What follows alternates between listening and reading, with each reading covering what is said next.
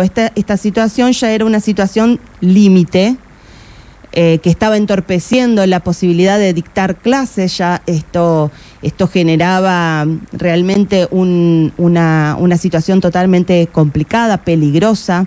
Eh, los días de lluvia se tenía que inhabilitar toda el ala superior de la escuela, básicamente porque era un peligro, eh, no solamente la, la posibilidad de desprendimiento, sino también la instalación eléctrica. Esto generaba un montón de, inconvenientes. Con esta situación de la pandemia se, se, se entorpecieron un montón de gestiones, pero cuando se retoma y en la cuestión de infraestructura en educación, la situación de la escuela de Mariano Moreno ha quedado dentro de las prioritarias en el departamento San Cristóbal, ¿sí? Y eh, lo que tuvimos la información es que se encuentra hoy disponible los fondos, ¿sí? Para poder empezar con esto. Seguramente va a tener que hacerse una readecuación porque, digamos, Ah, lo presupuestado. A ver, se tomó el mismo proyecto técnico de la administración anterior y se había licitado también ya o no? No, no, no. No, no.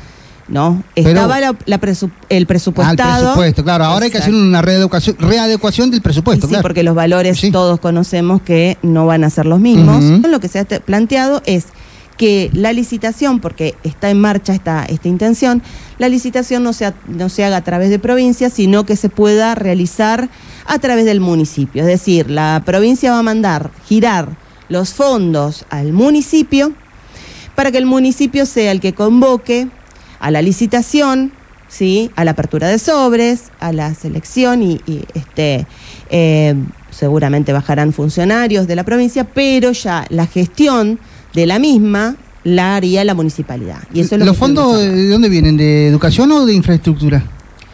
Eh, creo que de, eh, o sea, son de, de infraestructura. Vienen con infraestructura, pero de educación. O sea, es específicamente infraestructura de educación. Sí. Bueno, digo porque Tienen un fondo de especial destinado a la Claro, parte porque yo no entendía este tema, ¿no? De, de por qué hay mayor celeridad si lo licita el municipio y no lo licita la provincia.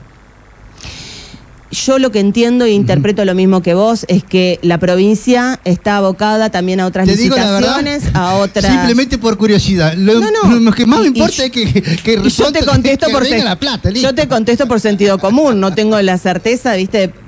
Pero estimo que la provincia tiene, así como San Cristóbal, un montón de otras obras que también tiene que licitar, el gobierno en general, y eh, el, hecho de transmitirlo para acá a todo el proceso previo de lici- licitatorio, que eh, no quita que eh, no va a estar la pata de la provincia con, no sé, el eh, la confección de los pliegos, tal vez el este posterior después certificación de la obra, que eso va a ser totalmente eh, lo que acordamos ahí también en la charla, es que la certificación de obra de cada etapa que se vaya concluyendo, la de la provincia, eh, la, este, la supervisión técnica, la de la provincia, porque bueno, por ahí tal el municipio tal vez no tenga los recursos suficientes para semejante obra estar inspeccionando, pues ya que también, y es lógico, tiene que continuar su, su, su, su ritmo de obras eh, en la ciudad eh, y sus otras actividades